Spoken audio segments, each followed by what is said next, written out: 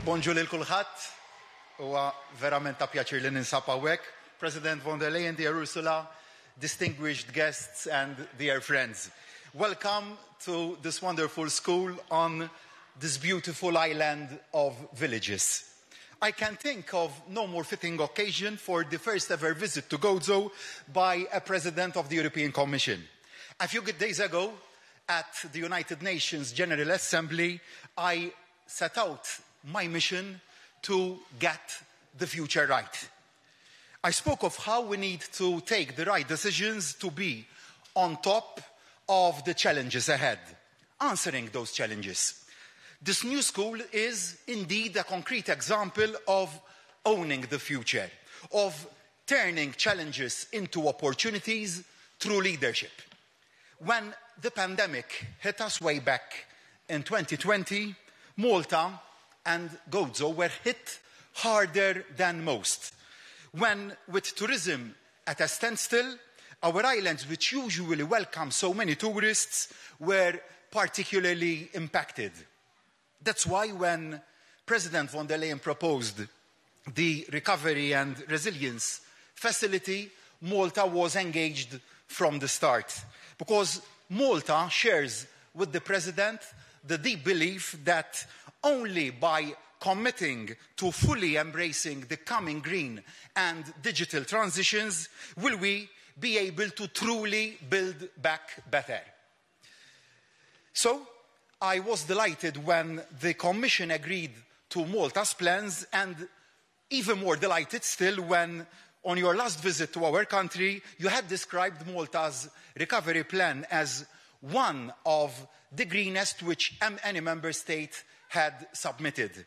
That delight continues today here in Gozo as we visit pupils and educators that have commenced only a few days ago this scholastic year in new classes with new facilities. We are delivering a new school built on the same footprint on which the previous one was built because we believe that our land use policy is an integral part of our sustainability policy, utilizing the Next Gen EU funds to deliver real, practical benefit to all Gozitans. The figures are also very impressive. Overall, Malta is benefiting from more than 300 million euro to speed up our economic growth. Over half of that is supporting our climate objectives and a quarter our digital transformation. But these fine sounding games only matter if they are translated into tangible projects on the ground across our communities. Projects that equip local people with the skills of the future, that use the green technology of the future and build our economic capacity for the future. Nadur School represents and symbolizes such a project utilizing over 6 million euro, 6.3 million euro of next gen EU investment to deliver new facilities to enhance the education of the next generation of Godzitan students. Only by providing the best education to our pupils can we promote social mobility, which in turn creates more peaceful and equal societies. This project will have a new dance studio, a music room, a literacy room, and also an art studio, all built in a sustainable manner, utilizing the latest energy efficient technology to deliver a carbon neutral building. A win for pupils, a win also for the environment, a win for Gozo and Malta. I would here like to pay tribute to the roles of Education Minister Clifton Grima, Chris Bonnet, Parliamentary Secretary responsible for European funds, and also Neville Young. Thank you, Neville, who is the Chief Officer of the Foundation for Tomorrow Schools, for delivering such an amazing project in a timely manner. President, dear Ursula, I know you are aware of the dangers of isolation for the more remote parts of Europe. Like me, you agree that connectivity is key to ensuring that geography isn't a barrier to economic success. My government is fully determined that Gozo's location should be turned into a positive. Gozo will never be left behind and will never play second fiddle. That's why my government has already increased by a quarter Gozo's share of the long-term EU funds allocated to our nation. I say to all Gozitans, we shall ensure that Gozo will always get its fair share.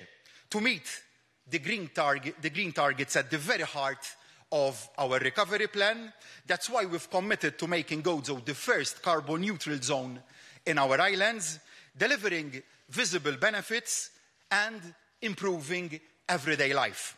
Like the green transport hub at Shawkija, only a, a uh, short distance away from here, designed to enhance connectivity for Godzitans by reducing congestion at the vital Imjar Harbour with sustainability at its core, electric buses free to use, as is all our public transport, connecting passengers to the harbour.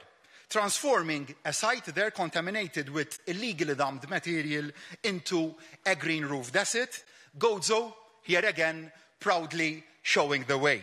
Gozo may very well be a small island, but its people are extremely hardworking. With Clint Camilleri as Minister for Gozo, Gozo enjoys an energetic champion in my government focused on delivering where it matters to enhancing people's well-being and prosperity. Dear Ursula, thank you for finding the time to visit Gozo, and I am very proud to share with you these projects, observing the impact of our shared commitment to building green growth. It is that agenda of green growth, alongside other vital issues, such as migration, that will be central to the discussions and decisions at the MED9 meeting, which Malta will be hosting later on today. Malta and the EU, working together, delivering a difference, driving the change our islands need, addressing the challenges, getting our nation ready for tomorrow, in short, getting the future right. Thank you. Thank you.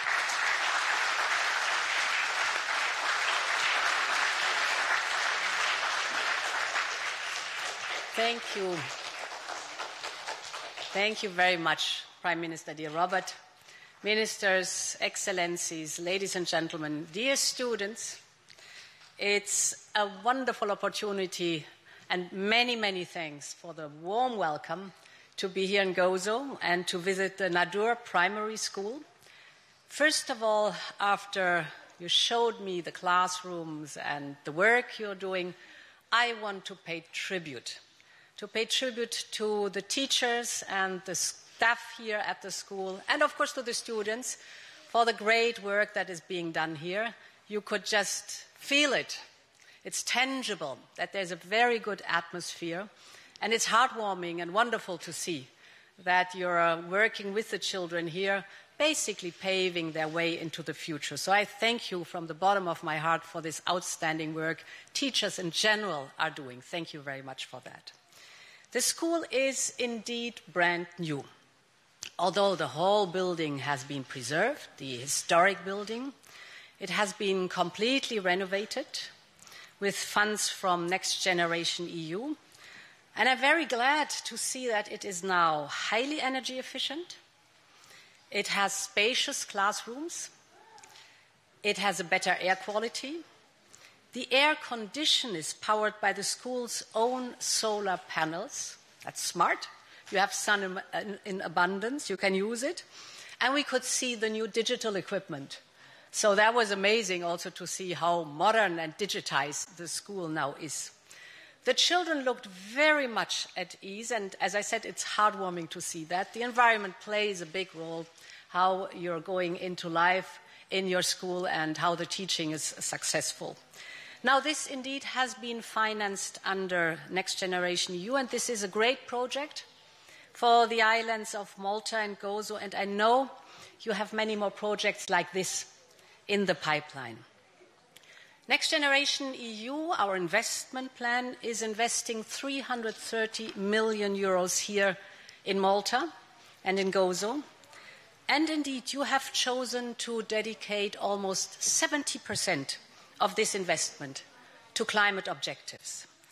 This is way more than the European average. That's excellent. And I really want to thank you for that. You are among the first countries to increase the share of renewables in your energy mix. And renewable energy is homegrown. It gives you independence. As I said, you have the resources in abundance that's sun and wind. So this will help strengthen the electricity grid here. And this is so important, especially considering the power cuts that were here in the summer. You told me about it and where we want to work on together that this does not happen anymore. And one of the ingredients for a solution is to indeed strengthen the renewable energy system. So Malta needs basically to combine its strong growth, that's good, with sustainable use of its natural resources. That's good too. And to combine and reconcile both, that's our common endeavor and task. I know it's a challenge, but I'm also here today to tell you that Europe is at your side and uh, all along the road. I was in Malta two years ago to launch the Recovery and Resilience Plan, and it's good to see already two years later the results of the work that we've started back then, because this is just the beginning. We will continue working on other great projects, so there's lot, lots of good projects in the pipeline. Being here in Gozo is also a great way to start the summit of the Med9. Thank you very much for the invitation. Throughout history, Malta has played a strategic role in the Mediterranean region. Malta, with its unique cultural heritage, it's amazing to see here, and we are way too short here to take in all the amazing treasures you have here. And with your cultural heritage, you project our European values in the Mediterranean. And it represents all the opportunities for trade and investment in renewable energy that the Mediterranean had, has to offer. At the summit, we will have important discussions on the future of the Mediterranean region, and there is no better place to have these discussions than here, at the crossroad of Europe, Africa, and the Middle East. So, thank you very much again for the very warm welcome and many thanks for the opportunity to visit this school. Many thanks again to the staff and the teachers, and many thanks for the children to show all that. Thank you.